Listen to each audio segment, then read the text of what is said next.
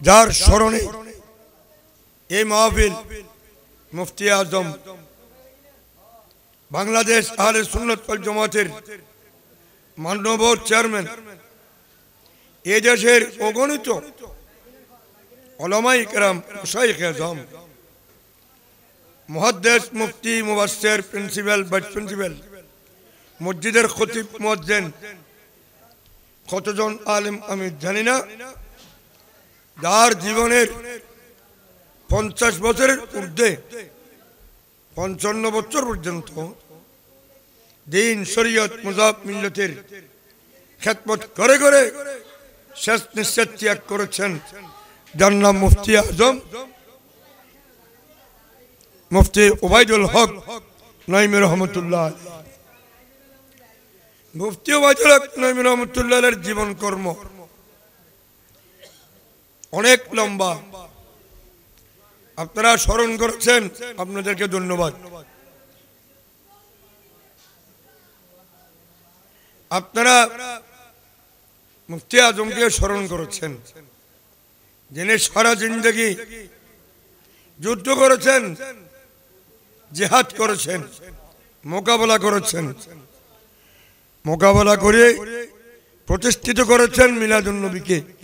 সাল্লাহ ইসলাম ফাতি আজদমকে যারা মিলাদুল নবী ফাতি আজদম শরীফের মুখালেফ প্রতিপক্ষ ছিলেন, দাঁত ভাঙা জবাব দিয়েছিলেন তিনি। এই কারণে কেমন পর্যন্ত মুফতি আজম, মুফতি ওবায়দুল হক নয়মি রহমতুল্লাহ স্মরণীয়, বরণীয় হয়ে থাকবেন। তার নাম স্মরণ থাকবে। আল্লাহ তবারক তাআলা ইরশাদ করেন। এমন একটি আয়াত শরীফ তেলাওয়াত করেছি। প্রত্যেকে আমরা পড়ি, ওয়ারাফানা লাকা যিকরাক। আল্লাহ তাআলা বলেন, আমি অনেক উঁচু করেছি, বলন্দ করেছি, সমুন্নত করেছি।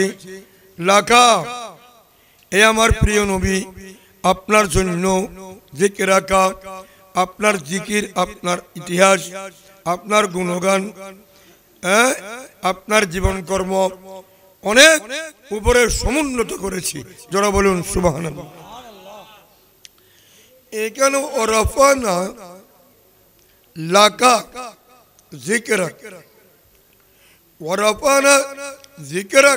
এতটুকু বললে হতো। আপনার জিকির আপনার ইজ্জত আপনার মান সম্মান আমি তুলতে তুলতে কোথায় নিয়েছি আমার ভাইরা বলেন, আমরা নবীকে অনেক উপরে তুলে ফেলছি। আমরা তুলছি না? রফানা। রফানা এই শব্দটি অতীতকালের শব্দ। তুলে দিয়েছি। দিব তো না ভবিষ্যৎ না। কোথায়? যে জায়গায় যাওয়ার জন্য মুসা আলাইহিস ইসলাম আল্লাহর দরবারে আবেদন নিবেদন করেছিলেন, রব্বি আরেনি। আল্লাহ, আপনাই আপনি আপনার সাক্ষাৎ আমাকে দান করুন। আমার চর্মচক্ষে আপনাকে দেখতে চাই। আল্লাহ তালা বললেন লন তারানি, মুসা, তুমি আমাকে দেখতে পারবে না। দেখার শক্তি তোমার নেই। মুসা সালামের সে শক্তি নেই।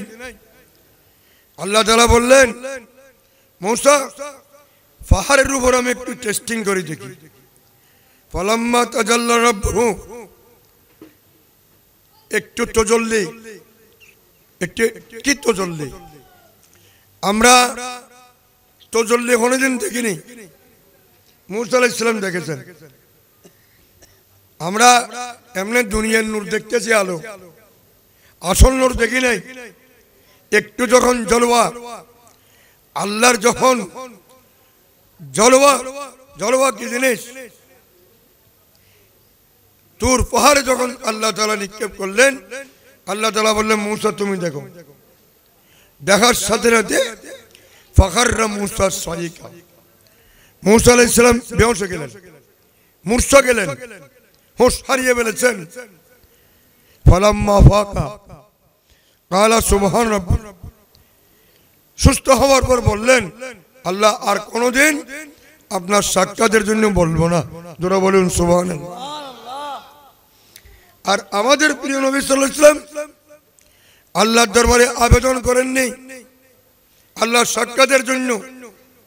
মুসা আলাইহিস সালাম বলেছিলেন রব্বিশ রাহলি সদরি। এই আল্লাহ আমার সিনা উন্মুক্ত করে দিন। আমার সিনা খুলে দিন। আমাকে অপারেশন করুন। আল্লাহ তাআলা মুসা ইসলামের আবেদন করেছেন আল্লাহর দরবারে।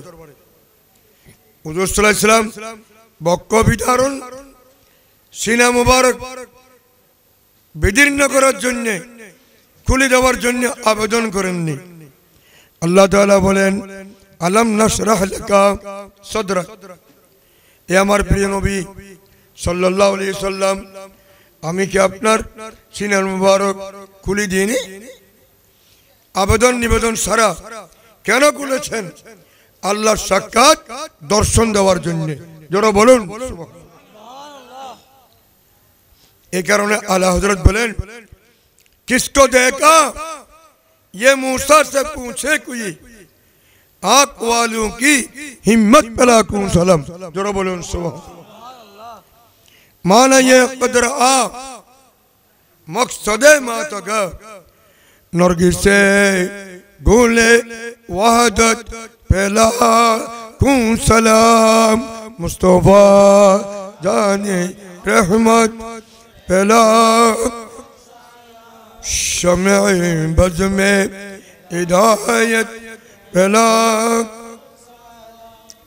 اللہ جل شانو আমাদের প্রিয় নবীকে দর্শন দিয়েছেন, সাক্ষাৎ দিয়েছেন মেহরাজ রাত্রিতে ইন্না নবীনা সাল্লাল্লাহু আলাইহি রাআ রাব্বাহু লাইলাতাল মেহরাজ বিআইনাই রাসি চর্মচক্ষে আল্লাহ দর্শন লাভ করেছেন। আর কিছু দেখার বাকি আছে? নাই। এই কারণে আল্লাহ তালা বলেন, নবী আপনার মতো কেউ নেই। আপনার সমকক্ষ নেই, সৃষ্টির মধ্যে। এমন উপরে আল্লাহ আমাদের প্রিয় নবীকে নিয়ে গেছেন। ওরাফান এলাকা লিখে রাখ আমার কথা আমি শেষ করতেছি। আমাদের প্রিয় নবী আল্লাহকে দেখেছেন সচক্ষে। এবং আল্লাহ বলেন, এ আমার নবী আমি আপনার শানকে উপরে তুলেছি। আর যারা আপনার সম্মান বর্ণনা করেন, তাদের সম্মানকে আমি অনেক উপরে তুলে দিয়েছি। আল্লাহ এখানে যে লাম আছে আল্লামু হেনা লিখ এটা মালিকানার জন্য। ইয়া রাসূলুল্লাহ, আপনাকে মালিক বানিয়ে দিয়েছি। আপনি যাকে চান, তাকে ইজ্জত দিবেন। একজনকে দিয়েন সিদ্দিক আকবর। ফারুক আজম, ওসমান দিন নুরাইন মৌলা আলী গৌসবাগ গরিব নওয়াজ সৈন শাহ শ্রীকুল মুফতি আজম, ওবায়দুল হক নইমের শান, মান অনেক উপরে তুলে দিয়েছেন ওরাফান এলাকার দিকেরা কেন? আল্লাহ তালা বলেন, এই মুফতি ওবায়দুল হক, তুমি যেহেতু সারা জিন্দগিতে আমার হাবিবের প্রশংসা করেছ, সুতরাং নবীর সাথে সাথে তোমার প্রশংসা হবে। আল্লাহ আকবর। ইয়া রসুল ইয়া গজা জিন্দাবাদ। জিন্দাবাদ। এ- এখানে মুফতি সাহেব বড় কৌতুক করে বলতেন বদ্রার যাব মাস খরিদ করব। আমাকে বলতেন, চলো চলো। আমি বলতাম হুজুর আমি পারব না। না না, ওখানে ইনটেক মাছ। বেজাল নাই। ওরা আমাকে দেখলে এক নম্বর মাছ এটা দে। আপনাদেরকে তিনি ভালোবাসতেন, মাদ্রাসায় বসে বসে বদরাটের এ মাছ ব্যবসায়ীদের প্রশংসা করতেন। আজ আপনারা তার প্রশংসা করতেছেন। তিনি আপনাদেরকে বলতেন না। বড় বড় মাহবিলে বলতেন, মাদ্রাসার অভিযোগ বলতেন। তিনি তো একজন সাদা হৃদয় লোক ছিলেন। ভিতরে কিছু ছিল না। যাকে বলতেন মুখের উপর। আবার কলব পরিষ্কার। আজ আমরা মুফতি সাহেবের সফলতা। তিনি জান্নাতে আছেন। সারা জিন্দগি খেদমত করে গেছেন। পীরের খেদমত করেছেন। খানকার শরীফের মাদ্রাসার। সুতরাং এক সেকেন্ডও তো তার বিতে যায়নি। অনেক ছাত্র চলেছেন। আজ প্রতিটি মুহূর্তে যার কবরের মধ্যে সব পৌঁছতেছে। অটো হয়ে গেছে সব অটো। Auto system. এখানে আপনারা বলেন না বলেন। মিন ওয়ালাদিন সোয়ালিহীন। যারা তার বক্তবৃন্দ ছাত্র, এটা তার রুহানি সন্তান। একত তিনি একজন যুগশ্রেষ্ঠ আলেম মিন এলমিন এলমের কারণে, লেখনের কারণে। এবং তার ছাত্র, অনেক অগণিত বক্তবৃন্দ তাদের মাধ্যমে সব পৌঁছতেছে। এখন এত সবের গাঁটিয়ে গেছে, পাহাড়।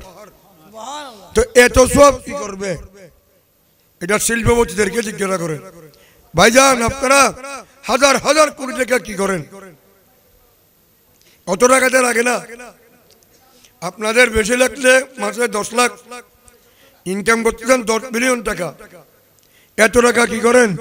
তারা উত্তর দিবেন, আমার জন্য অত টাকা লাগে না। আমার বক্তবৃন্দ চাকর বাকর শ্রমিক, তাদের কাছে আমি, তাদের জন্য খরচ করি। মুফতি সাহেব বলেন, আমি এই সব অর্জন করতেছি আপনাদের জন্য। বলেন। কাল কেয়ামতের ময়দানে আপনারা যখন আটকে যাবেন, তখন মুফতি সাহেব আল্লাহ তালা বলবেন, ওই মুফতি ওবায়দুল হক নইমি, তুমি ব্যস্ত, তাড়াতাড়ি ঢুকিও না। এখানে দাঁড়াই থাকো।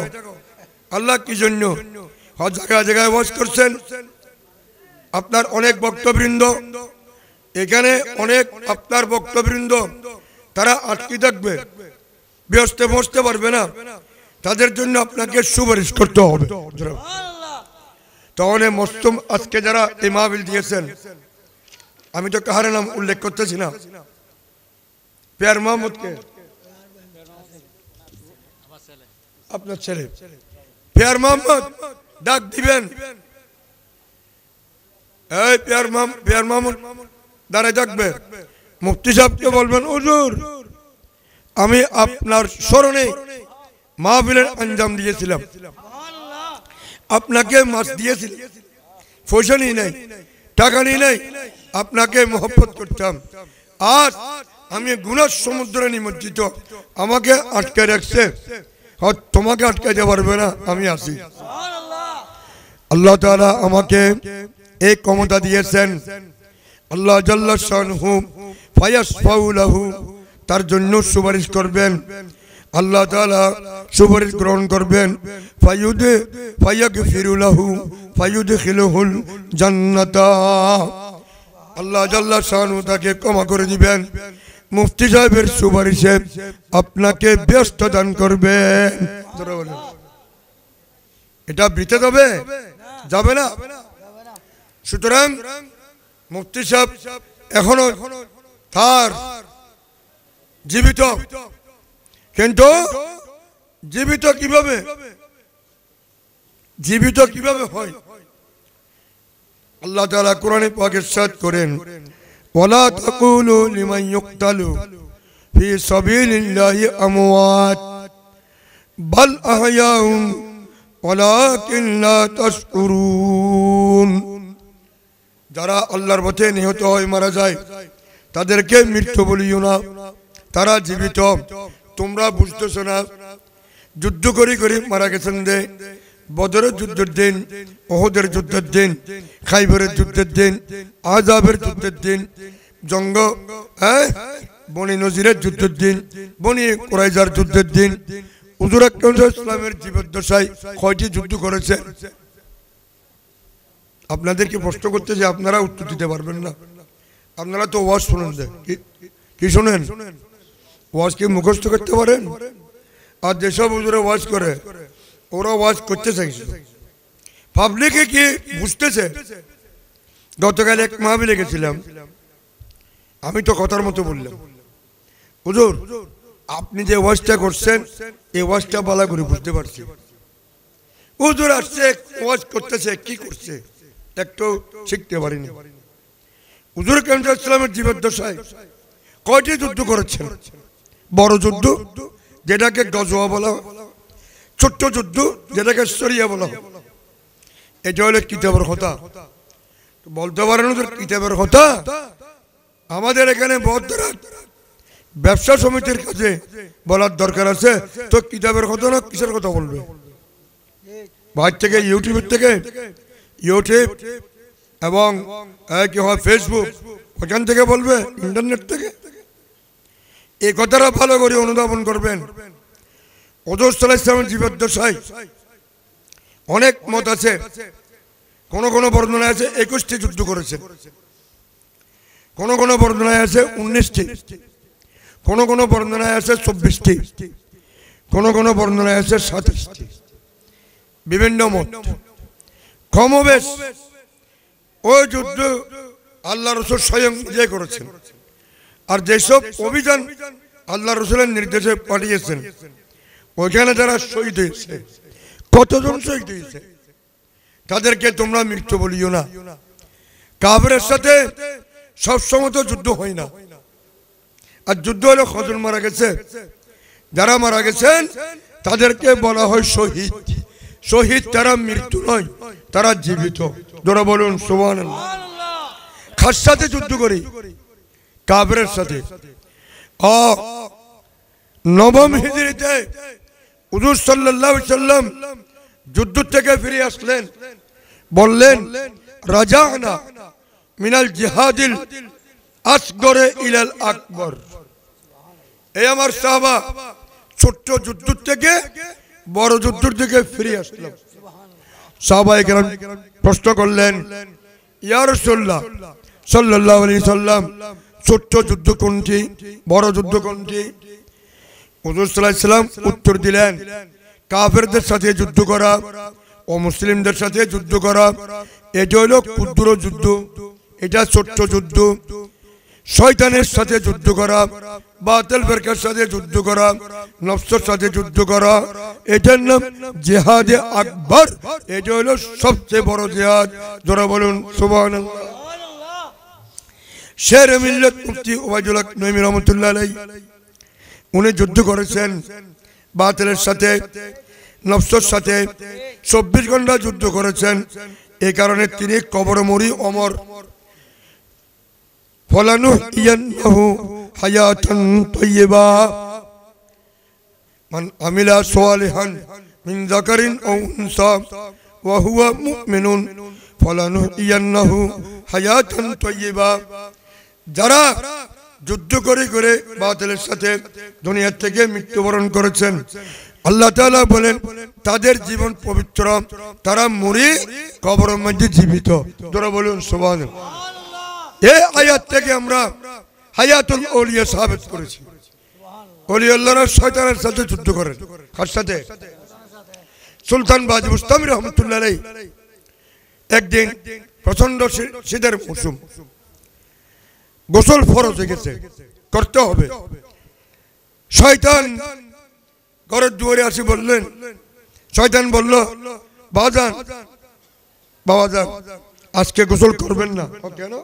মরে যাবেন গোসল করলে। পানি এত ঠান্ডা, বরফ। হ- তুই কে রে? হয়তো আমি তোমার বন্ধু। হয়তো হ্যাঁ আমার সাথে বন্ধু থাকো। তো আমি নামাজ আজকে একদিন দেরি বললে কি হবে? কথা করো একদিন। হয়তো কথা করব না, তোর সাথে যুদ্ধ করব। যুদ্ধ করে করে তোরা পরাজয় করতে পারলে, তাহলে জেহাদের মধ্যে আমি সফল হতাম। তুই পরাজয়। তখন বাজে বসতে আমি ফকুরের ভেতর নামি একটা দুটা তিনটা, চারটা ডুব মরতেছে। মর্জুন না খ, দুর্বল হয়ে গেছিল বাজিরে আর আসতেন না তোমার কাছে। ধরো বলুন শয়তানেরা পরাজয় করছে না? যুদ্ধ। এরপর বাজে বসতে আমি নামাজে যখন দাঁড়ালেন ফেরেস্তারা তাকে চতুর্থ আসমান বাইতুল মামুরে তুলে ফেললেন। সালাম বিরে তোমরা আমাকে এখানে কেন আনছো? হদাই সুলতান আরিফিন, আপনি যেহেতু শয়তানকে পরাজয় করে দিয়েছেন এই কারণে আমরা আপনার খেদমত করতেছি। ফেরেস্তা আপনার খাদেম হয়ে গেছে। কখন? শয়তান যদি পরাজয় হয়, আমরা শয়তানকে পরাজিত করতে পারি না। শয়তান আমাদের বন্ধু। কিন্তু শয়তান ওলিয়ে কেরাম বুজুর্গানি দিন, আলেমে হক, আনি রব্বানি শত্রু। এ কারণে শয়তানে বেশি শয়তানি করে খার সাথে, আলেমের সাথে। মুফতি ওবায়দুল হক নইমি রহমতুল্লাহ এই ধরনের কত শয়তানকে পরাজিত করেছেন। পরাজিত করে কেয়াম মিলাদ ফাতে ইয়াস, দোম, ওরস ফাতিয়া এগুলাকে আপনাদের সামনে প্রতিষ্ঠিত করেছেন। জোরে বলুন সুবাহ আলহামদুলিল্লাহ। আজ আমরা আনন্দিত, আপনারাও আনন্দিত। মুফতি সাহেবের ফাতিয়া করেছেন, তিনি জীবিত। হায়াতুল ওলিয়া আল্লাহ পাক সুবহান তাআলা আপনাদের এই নুরানি মাহফিলকে কবুল করার তৌফিক নসিব করুন। যারা এইজন করেছেন, ব্যবস্থা করেছেন, টাকা পয়সা খরচ করেছেন, বিশাল মাহফিল। এটা ছোট্ট মাহফিল না। আপনাদের ছোট্ট মাহফিল। নয় কেন জানেন? মানুষ কমলে ছোট না না, কারণ আছে ও সিল্লাতে হ্যাঁ। আমি একদিন এক বুড়ো- মানুষ দেখলাম। বয়স আশির উঠতে মুরতপুর তৎকালীন প্রিন্সিপাল জালালুদ্দিন কাদির রহমতুল্লাহ। উনি আর আমি এক মাহবিল থেকে আসতেছি। রিক্সায় করি, শহরের ভিতর। মাহবিলটা মনে হয় চকবাজারের পাশে ছিল। বুড়ো লাড়ি ধরে মুরতপুর এখন তো ফ্লাইওভার। তখন এটা ছিল না, খোলা। আমি অনেক কাঁপতেছে ওই শীতে জিজ্ঞাসা করলাম যারা কোথায় যাচ্ছেন? হদে ওই পার্শ্বে করে টেলিভিশন আছে। আজকে ম্যারাডোনার খেলা। মরার ডোনা, আজকে। হয়তো আমাদের ঘরে টেলিভিশন নাই। আমার নাতিনকে বলছে, তিনটার থেকে খেলা শুরু হবে। খবরদার, তুই আর দুইটা বাজে তুলে দিস? আল্লাহ, ওই বুড়োতে তার তোমাদের জন্য, ওটার জন্য বলে নাই।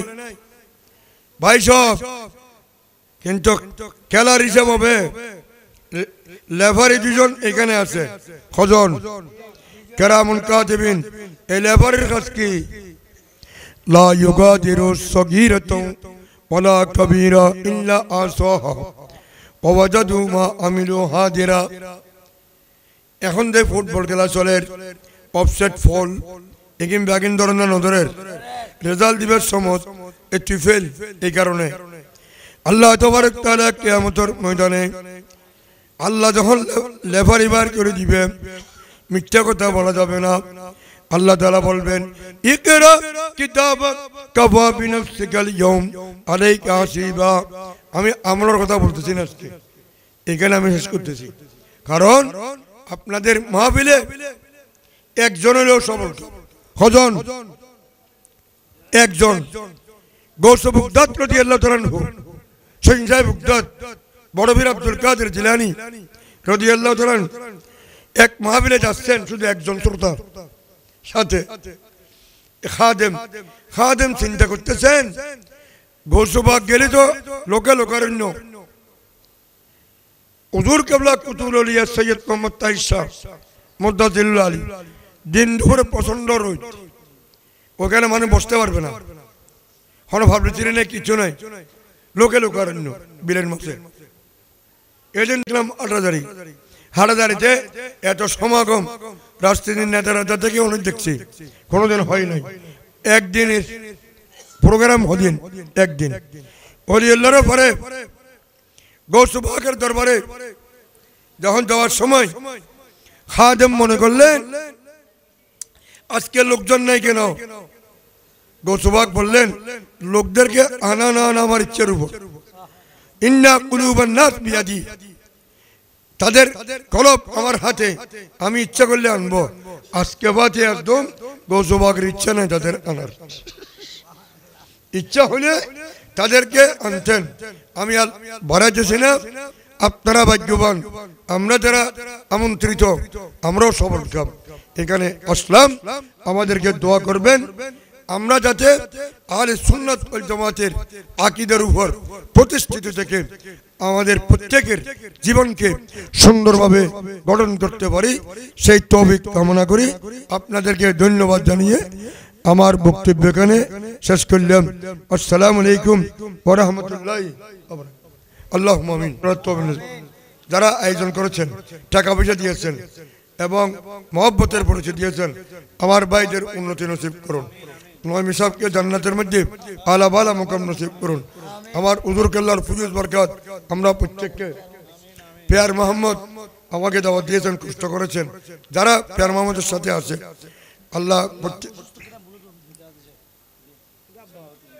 আল্লাহ স্কন্দর সদাগর অসুস্থ। আল্লাহ তাকে সেবা নসিব করুন। এই মৎস্য আড়তদার পাইকার সমিতির সাথে যারা সম্পৃক্ত, আল্লাহ তাদের যাতে ব্যবসার ক্ষতি না হয়। অনেক সময় মাছ পুষে যায় গলি যায় এরা যাতে না হয়। তারাও যাতে সঠিক ব্যবসা করে। মানুষকে ভালো জিনিস যাতে সরবরাহ করে। সেই আল্লাহ সহিভাবে যাতে ব্যবসা করতে পারেন সেই তো দান করুন। আহলি আজওয়াজি বাইত আজমাইন। ইয়া আরহামার আসসালামু আলাইকুম।